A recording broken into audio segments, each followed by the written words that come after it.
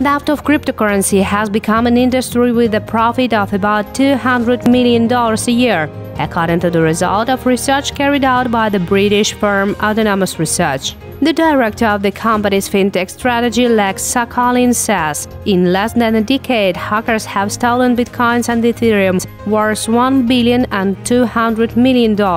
Given the explosive growth in the value of currencies in 2017 today, this amount would be much more.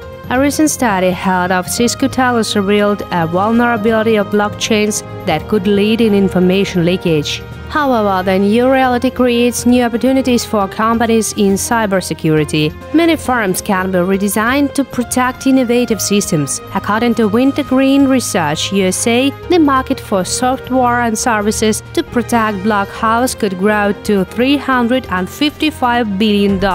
In 2017, it was only $259 million.